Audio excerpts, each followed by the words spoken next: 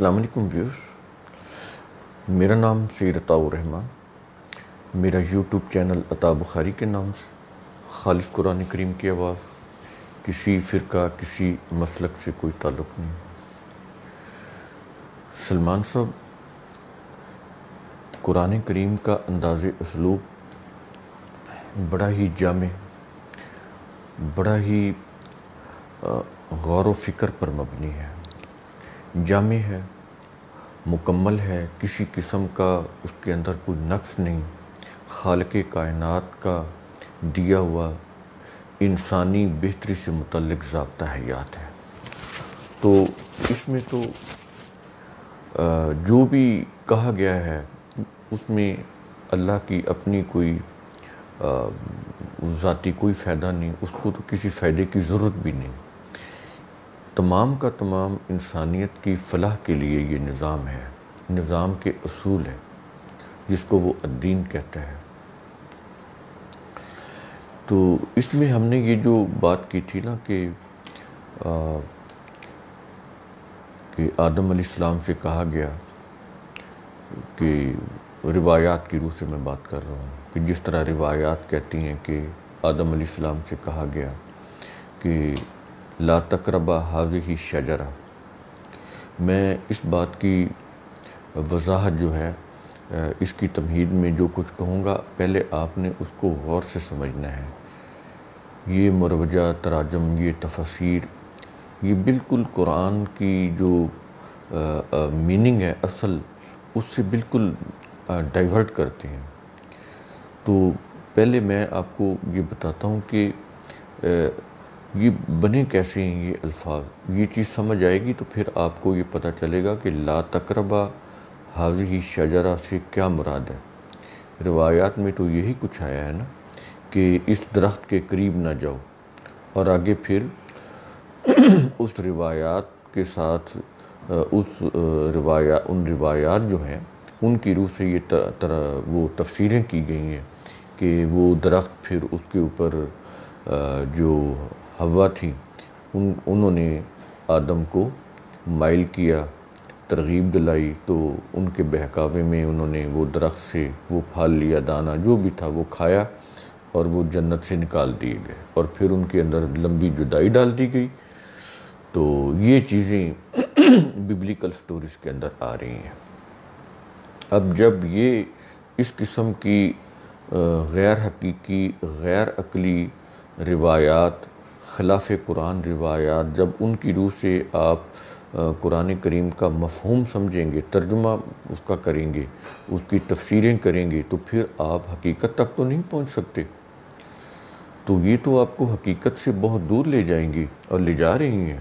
آج تک بھی کسی صدی کے دور میں بھی لوگ یہی سمجھتے ہیں، مذہب پرست، کیا دوسرے عام لوگ بھی جو مذہب پرست نہیں بھی ہیں وہ بھی یہی سمجھتے ہیں کہ کوئی ایسا دانہ کھایا تھا تو جنت سے نکال دیے گئے، یہ بات نہیں ہے۔ نبی کا مقام بہت بلند ہوتا ہے۔ آدم علیہ السلام اگر نبی تھے تو ان کا تو مقام بڑا بلند ہونا تھا۔ تو ان سے تو کوئی ایسی اللہ کی نافرمانی نہیں ہو سکتی تھی اگر وہ کوئی نبی تھے۔ کیونکہ کسی بھی نبی سے اللہ کے کسی حکم کی خلاف ورزی نہیں ہوتی، یہ ذہن میں رکھیں۔ وہ کیوں نہیں ہوتی؟ اس لیے کہ ایک تو وہ اللہ کے منتخب ہوتے ہیں، اور دوسرا یہ ہے کہ وہ ہر وقت وہی کے تابع ہوتے ہیں۔ ہر وقت وہی کے ساتھ کنیکٹڈ ہوتے ہیں۔ جیسے یہ آپ کا موبائل ہے نا، وہ اپنے نیٹ ورک کے ساتھ کنیکٹڈ ہے۔ تو جو بھی نیٹ ورک سے کال آئے گی بیل بجے گی، آپ بات سنیں گے، بات کریں گے۔ یہ اس طرح سے جو صورتحال ہے کہ جو انبیاء ہوتے تھے، وہ وہی سے کنیکٹڈ ہوتے تھے، بذریعہ وہی اللہ سے کنیکٹڈ ہوتے تھے۔ یوں کہیں۔ تو اللہ کے جو قانون ہے، اس کی وہی، وہ اس کے تابع ہوتے تھے۔ تو ان سے اس لیے غلطی سرزد نہیں ہوتی تھی۔ یہ چیز ہے۔ تدبیر کے اندر کوئی کام کرنا ہے، اس کی کوئی میتھوڈالوجی اس کے میتھڈ کے اندر کوئی فرق ہو سکتا ہے، وہ بھی ان کو بتا دیا جاتا تھا۔ اگر کہیں سے کوئی ایسی چیز ہوتی تھی، بحثیت انسان، تو وہ بھی ان کو بتا دیا جاتا تھا۔ ایسی بات نہیں ہے۔ تو یہ ان سے غلطی نہیں ہوتی تھی کہ وہ جس چیز کو منع کریں تو وہ منع نہ ہو اور وہ چیز وہ کر دیں۔ ایسا نہیں ممکن ہی نہیں ہے انبیاء سے، ہوتا ہی نہیں ہے۔ ہوتے وہ انسان ہیں۔ لیکن بذریعہ وہی وہ اتنے کنیکٹڈ ہوتے ہیں، اللہ کے احکام کے ساتھ اتنے جڑے ہوتے ہیں، وہ اتنی اتباع کے اس درجے کے اوپر ہوتے ہیں، افق پر ہوتے ہیں۔ تو اس لیے اتنے بلند مرتبے کے اوپر ہونے کی وجہ سے، وہی کے تابع ہونے کی وجہ سے ان سے غلطی نہیں ہوتی انبیاء سے، یہ ذہن میں رکھیں۔ تو یہاں پر تو سیدھی سیدھی معصیت کا الزام ہے آدم پر کہ ان کو اگر یہ کچھ دانا تھا یا درخت تھا تو ان سے روکا تھا اللہ نے، انہوں نے تو پھر کھا لیا۔ تو وہ تو معصیت ہوگی۔ تو یہ یہ تو ان کو یہ بھی نہیں سمجھ آتی کہ ہم انبیاء کے اوپر اللہ کی نافرمانی کا الزام عائد کر رہے ہیں۔ یہ بہت بڑا اپنے ایمان کو تباہ کرنے والی بات ہے۔ تو یہ یہ پھر کیا چیز ہے کہ لا تقربہ حاضی شجرہ؟ پہلے تو یہ سمجھ لیں کہ وہ آدم علیہ السلام نہیں تھے۔ آدم عربی کا لفظ ہے، اس کو ہم آدمی بولتے ہیں عربی میں۔ انگلش میں دا مین بولتے ہیں مین کائنڈ بولتے ہیں ہومن بینگ بولتے ہیں، یہ ہے۔ تو یہ تو پورے انسان، انسانوں کی بات ہو رہی تھی وہاں پہ۔ تمثیلی انداز میں بات کو سمجھایا گیا۔ ایک اللہ کی مشیت ہے، اس کے عالم العمر کے اندر۔ اب ہمارے لیے تو وہ ایبسٹریکٹ ہے۔ ہم نے تو وہ نہیں دیکھی۔ اب جو چیز ہم نے دیکھی نہیں، ہم اس کو سمجھ کیسے سکتے ہیں؟ اس کو سمجھانے کے لیے، اپنی مشیت، اپنے ارادے کو سمجھانے کے لیے، انسان کی تخلیق کا مقصد سمجھانے کے لیے اللہ تعالیٰ نے ڈرامیٹک انداز میں وہ واقعہ قرآن کے اندر بیان کیا۔ اب سمجھ آئی کہ یہ کیا چیز ہے؟ اس کے سلسلے میں یہ بات کہی جا رہی ہے کہ لا تقربہ حاضی شجرہ اس شجرہ کے نزدیک نہ جانا۔ یہ شجرہ کیا ہوتا ہے؟ اس سے پہلے کہ یہ کیا ہوتا ہے، میں آپ کو زبان کی کچھ چیزیں بتاتا ہوں۔ دیکھیں الفاظ قائم کیسے ہوتے ہیں، کیسے بنتے ہیں۔ الفاظ میں اس کی ایک مثال دیتا ہوں، کیسے بنتے ہیں۔ اب یہ دیکھیں، ایک محاورہ ہے۔ آپ کہتے ہیں کہ کہ میں نے ایک تائرانہ نظر ڈالی۔ تائر پرندے کو کہتے ہیں تائر پرندے کو کہتے ہیں۔ میں نے تائرانہ نظر ڈالی۔ تو تائر پرندے کو کہتے ہیں، اس کا مطلب ہوا کہ میں نے ایک پرندے والی نظر ڈالی۔ اس کا کیا مطلب ہے؟ انگلش میں اس کو کہتے ہیں an bird's eye bird's eye view bird's eye view آپ نے پڑھا ہوگا۔ یہ انگلش کے اندر اس کو کہتے ہیں اور اردو میں کہتے ہیں تائرانہ نظر۔ انگلش میں کہتے ہیں برڈ آئی ویو پرندے کی نظر، ٹھیک ہے؟ تو تائرانہ نظر اس کا ہم ترجمہ کرتے ہیں۔ تو کیوں کرتے ہیں؟ یہ، حالانکہ پرندے کی نظر تو ہوتی ہے، لیکن ہم اپنے لیے یہ کیوں استعمال کرتے ہیں کہ پرندے کی نظر ظاہر ہے؟ انسان کی نظر اور پرندے کی نظر۔ تو یہاں پر پرندے کی نظر ہم کیوں، انسان کی نظر کیوں نہیں کہتے؟ برڈ آئی ویو کیوں کہتے ہیں؟ وہ اس لیے کہ پرندہ جب کوئی چیز دیکھتا ہے تو وہ اس کو ٹک ٹکی باندھ کر نہیں دیکھتا۔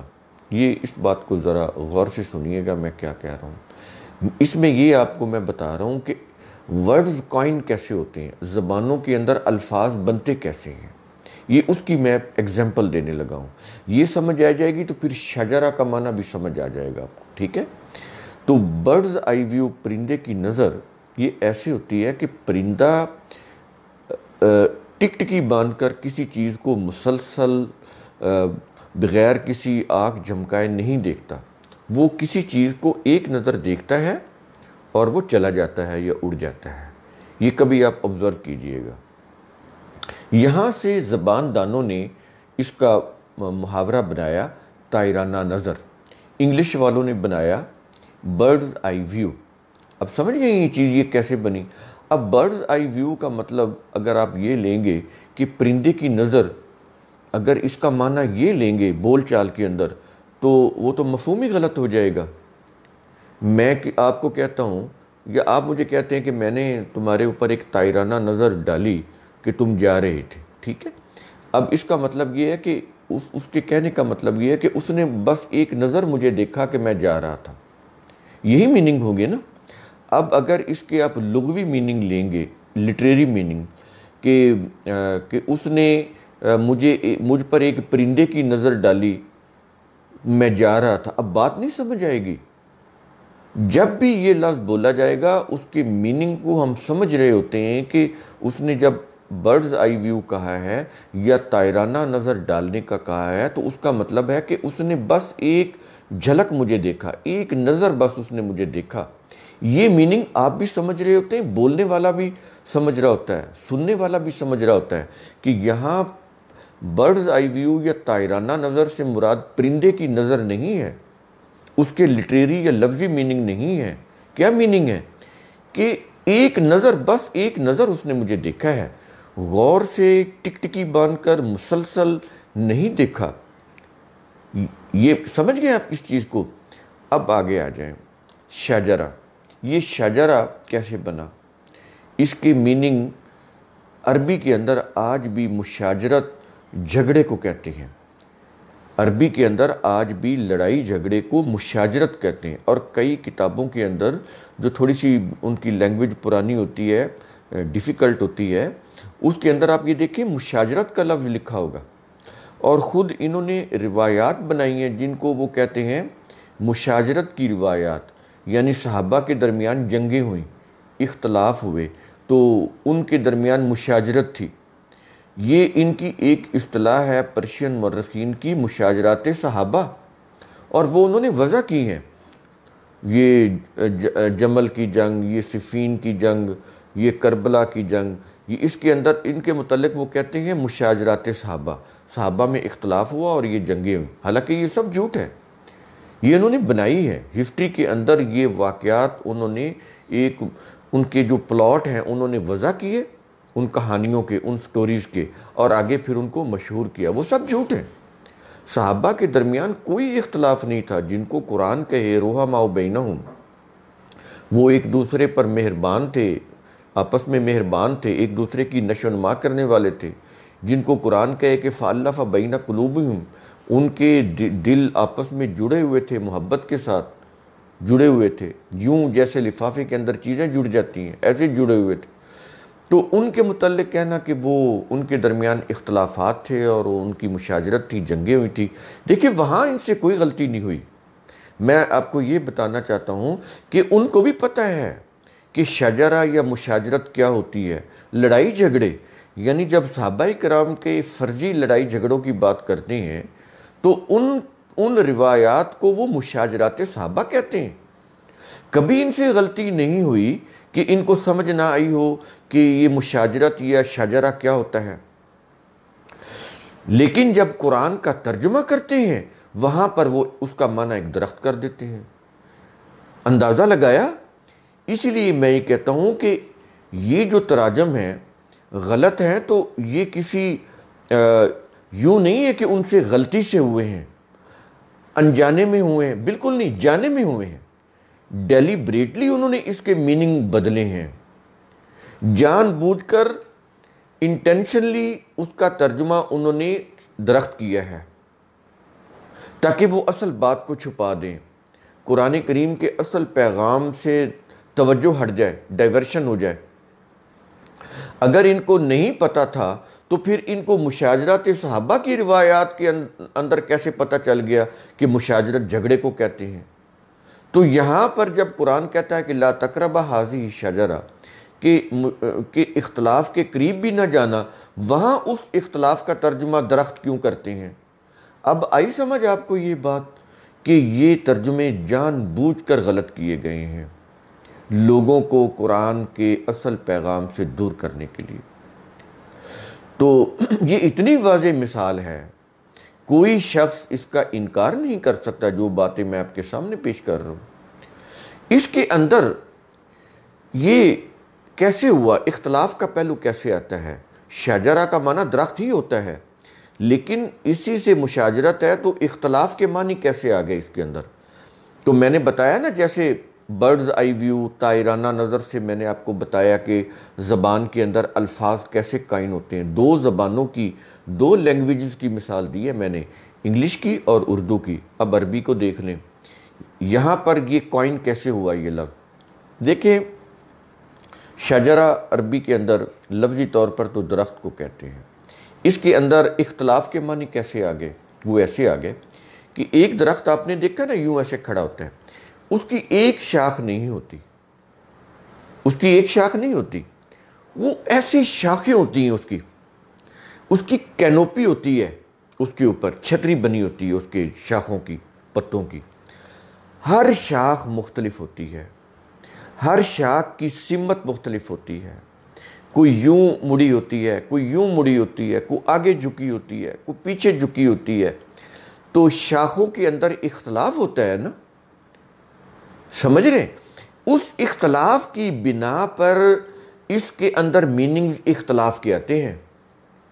اسی وجہ سے اسی لفظ سے بنا مشاجرت ڈیریویٹ ہوا لفظ، مشاجرت۔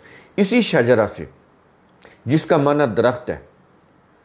تو ایک درخت کے اندر ایک شاخ نہیں ہوتی، کئی شاخیں ہوتی ہیں اور ہر شاخ ایک دوسرے سے مختلف ہوتی ہے۔ اپنی شکل کے اعتبار سے، اپنی سمت کے اعتبار سے وہ مختلف ہوتی ہے۔ یہ جو اختلاف ہے، اس وجہ سے اس کے میننگ کے اندر اختلاف کا پہلو نکلتا ہے۔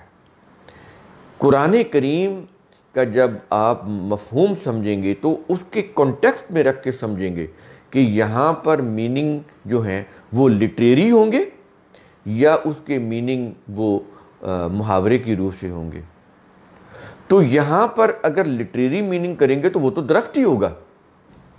لیکن اس کے سیاق و سباق میں رکھیں گے، اس کے کانٹیکسٹ میں رکھیں گے تو قرآن کہنا کیا چاہتا ہے کہ درخت کے قریب نہ جانا، یہ نہیں کہنا چاہتا۔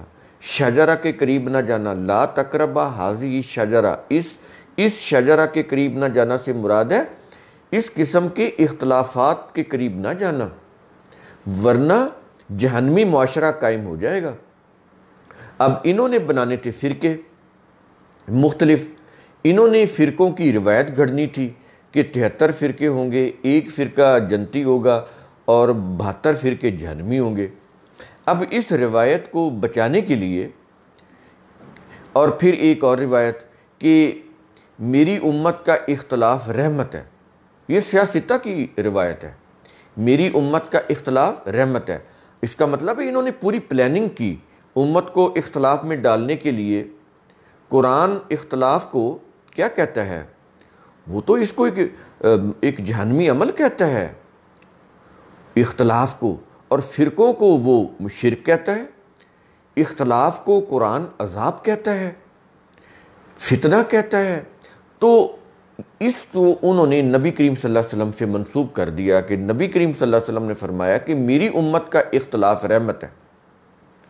اس کا مطلب ہے انہوں نے پوری پلاننگ کی امت کو اختلافات میں مبتلا کرنے کی اور ان کو آپس میں لڑانے کی۔ میوچل ان کے اندر ڈیفرنسز پیدا کرنے کے لیے انہوں نے سیکٹ بنائے، ان فرقے بنائے، ان کو پھر آپس میں لڑایا اور ان کو پھر جسٹیفائی کرنے کے لیے روایت وضع کی۔ کیا؟ کہ میری امت کا اختلاف رحمت ہے۔ ایک یہ روایت۔ یہ تو وہ روایتیں ہیں نا جو بڑی مشہور بھی ہیں اور بڑی مستند بھی ہیں۔ میں ان کی بات کر رہا ہوں۔ جو اور ہیں وہ تو میں چھوڑ رہا ہوں۔ اور ایک وہ روایت کہ تہتر فرقے ہوں گے۔ ایک فرقہ جنتی ہوگا اور بہتر فرقے جہنمی ہوں گے۔ اب وہ ایک جو جنتی ہوگا نا، اس نے ان بہتروں کو جنتی بنا دیا۔ کیونکہ بہتر میں سے ہر فرقہ کہہ رہا ہے کہ وہ جو ایک فرقہ ہے وہ میں ہوں۔ یہ دیکھیں کیسی پلاننگ پلاننگ کی ہے انہوں نے، امت کو لڑانے کی۔ تو ان روایات کی روح سے، میں نے کہا تھا نا آپ کو، یہ ترجمہ جو ہے، تفسیر جو ہے، وہ روایات کی روح سے کرتے ہیں۔ عربی کی روح سے نہیں کرتے۔ عربی کی روح سے قرآن جو ہے قرآن عربی لعلکم تاکلون، ہے نا؟ ہم نے قرآن کو عربی میں نازل کیا تاکہ تم عقل سے کام لو۔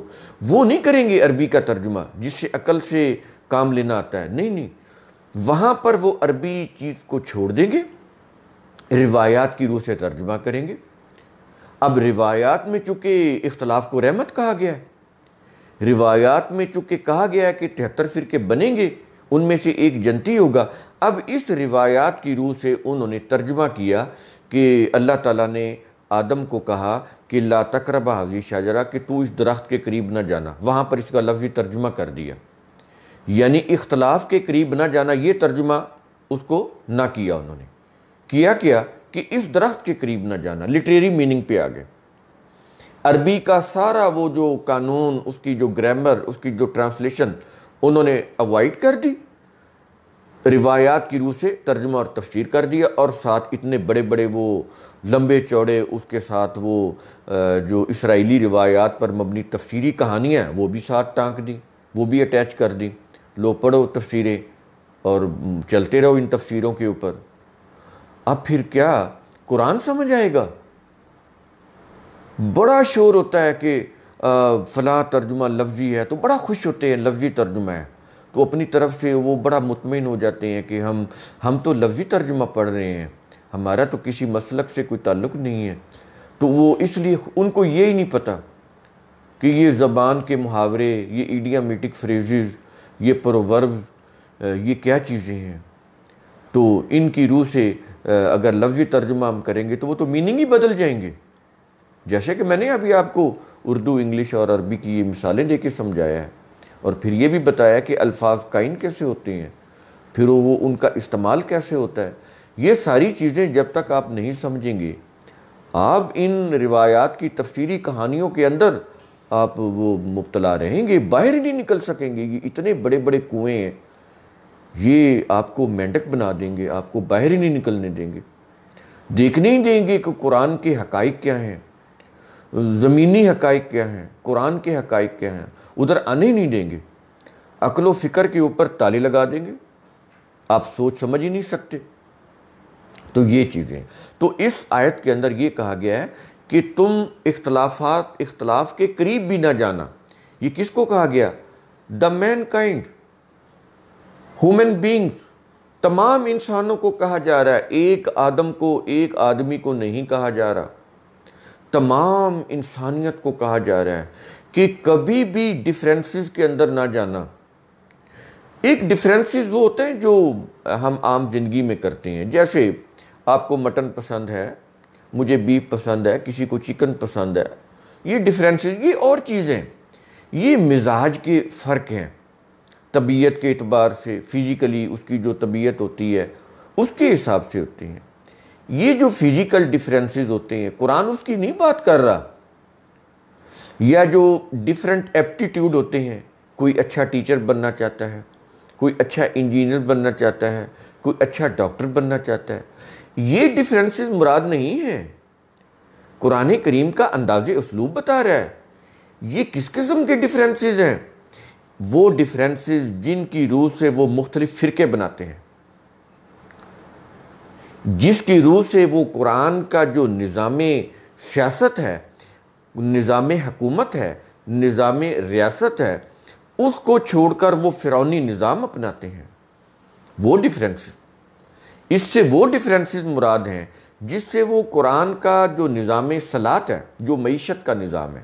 نظام سلات نظام زکوٰۃ، یہ قرآن کے یہ گورنمنٹل سوشیو اکنامک سسٹم ہیں یہ قرآن کریم کے پلر ہیں یہ دین کے۔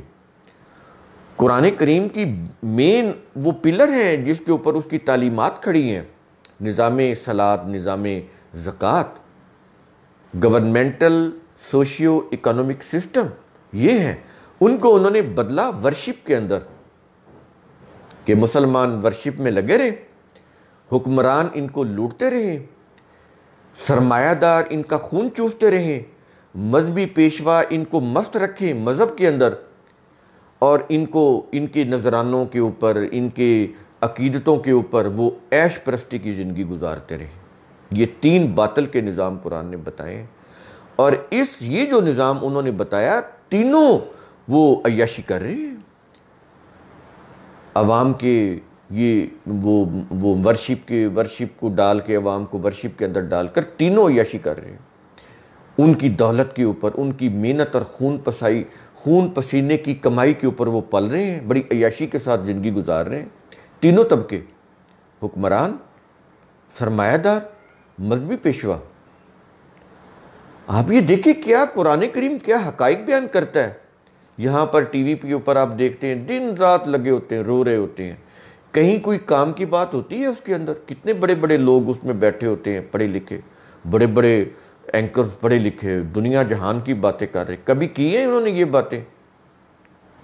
یہ جو میں آپ کے سامنے فیکٹ رکھ رہا ہوں، کبھی کبھی غور کیجیے گا، ایک مہینہ مسلسل ٹیلی ویژن مختلف اس کے چینل دیکھ لیں، کسی چینل کے اوپر قرآن کی یہ بات کبھی بیان ہوئی ہے؟ کبھی بھی نہیں کریں گے وہ۔ تو ٹھیک ہے، وہ ذلیل بھی تو ہو رہے ہیں۔ رو رہے ہیں، دن رات رو رہے ہیں۔ دن رات وہ مصیبتوں کی اپنی پریشانیوں میں، اس کی کہانیوں میں سنانے میں لگے ہوئے یہ ہو گیا، وہ مر گیا فلاں ہو گیا، وہ مصیبت آ گئی، یہ ظلم ہم ہم پر طاری کر دیا گیا۔ رو رہے ہیں۔ قرآن نے اسی تو عذاب کا ہے۔ کیوں؟ انہوں نے ڈیویٹ کیا قرآن کے جو نظام تھا اس سے۔ عقل و فکر سے بھی گئے۔ مذہب کی میں آئیں گے تو عقل و فکر سے بھی جائیں گے۔ یورپ کی تو اس لیے بچت ہوگی کہ انہوں نے مذہب کو ایک طرف رکھ دیا۔ اس سے کیا ہوا؟ وہ عقل و فکر سے کام لینا شروع ہو گئے۔ جب عقل و فکر سے کام لینا شروع ہو گئے تو قرآن کے نظام کے تقریباً قریب پہنچ گئے وہ۔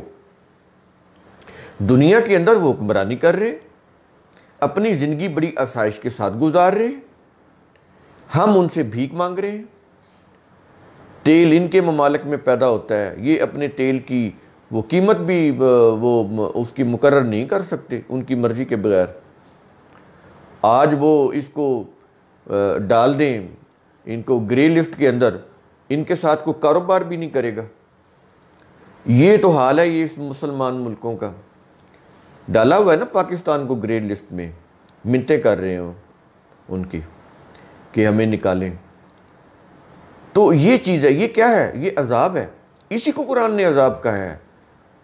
یہ مذہب پرست لوگ سمجھ رہے ہیں کہ وہ آسمان سے عذاب آئے گا، یہ جھوٹ بولتے ہیں، آپ کو دھوکہ دے رہے ہیں۔ یہی عذاب ہے، اسی عذاب کی بات کر رہا ہے قرآن کریم۔ تو یہ کہی گئی بات آدم، آدمی سے، آدم علیہ السلام نہیں، کوئی آدم علیہ السلام نہیں، آدمی سے۔ آدمی سے یعنی دی مین دی مین دی مین کائنڈ ہومن بینگ ان سے کہا جا رہا ہے، تمام انسانوں سے، کہ کبھی بھی اختلاف کے قریب نہ جانا۔ اپنے آپ کو قرآن جو وہی کی جو جو نظام ہے، دیا ہوا، جو دستور ہے، جو دین ہے، جو ضابطہ حیات انسانوں کو دیا ہوا ہے، اس کے، اس کا اتباع کرتے ہوئے اپنی زندگی کا نظام بناؤ۔ اگر اس اس اختلاف میں پڑھو گے تو اس سے پھر تم علیحدہ ہو جاؤ گے۔ تو پھر کیا ہو جائے گا؟ تمہاری زندگی میں جہنم۔ تاری ہو جائے گا۔ جہنمی زندگی میں چلے جاؤ گے تم۔ جیسا کہ ہم جا چکے ہیں۔ اب ان کو سمجھ میں نہیں آ رہی، یہ سمجھتے شاید جہنم میں کو آگ، وہ قیامت کے بعد آگ ہوگی، اس کے اندر ڈالا جائے گا۔ یہ غلط انہوں نے کنسپٹ دیا ہے جہنم کا۔ اسی کو جہنم کہتا ہے جس میں ہم جل رہے ہیں۔ چولہے والی آگ کو قرآن جہنم نہیں کہتا۔ تو یہ آگ ہے، اختلاف کی آگ جس میں ہم جل رہے ہیں، بھن رہے ہیں۔ تو اس کو، اس کی بات کرتا ہے قرآن کریم۔ تو آج ہم اسی کے اندر ہیں، اسی آگ میں ہم جھلس رہے ہیں۔ ہماری متاع حیات، ہماری سٹرگل ایفرٹ سب جھلسی جا رہی ہے کوئی نتیجہ برآمد نہیں ہو رہا۔ اسی کو کہتا ہے نا قرآن جہنم۔ یہ ہوتی ہے۔ تو یہ چیز کہی گئی آدم کو، آدمی کو ہومن بینگز کو، انسانوں کو کہ کبھی بھی تم اختلاف کے قریب نہ جانا۔ انہوں نے درخت بنا دیا۔ تو یہ میننگ غلط ہے۔ اب آپ کو سمجھ آئی کہ یہ یہ لا تقربہ حاضی شاجرہ کے معنی کیا ہیں؟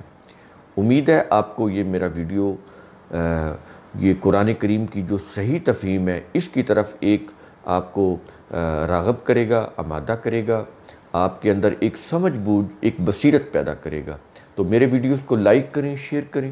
میرا یوٹیوب چینل آپ اسے سبسکرائب کریں، گھنٹی کا بٹن دبا دیں تاکہ میرے ویڈیوز ملتے رہیں۔ خوش رہیں، اپنا خیال رکھیں اپنے ارد گرد کے لوگوں کا خیال رکھیں۔ اللہ حافظ۔